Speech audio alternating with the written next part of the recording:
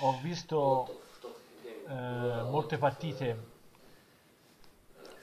della Fiorentina dello scorso anno. All'inizio della stagione era semplicemente fantastica ed era arrivata addirittura in prima classifica. Giocava un buon calcio. Sentivo parlare molto di- della Fiorentina e di Sosa che aveva portato qualcosa di nuovo a Firenze e a questa squadra. Conosco Sosa come coach perché è stato allenatore del Maccabi Tel Aviv e del Basilea ed è un grande allenatore.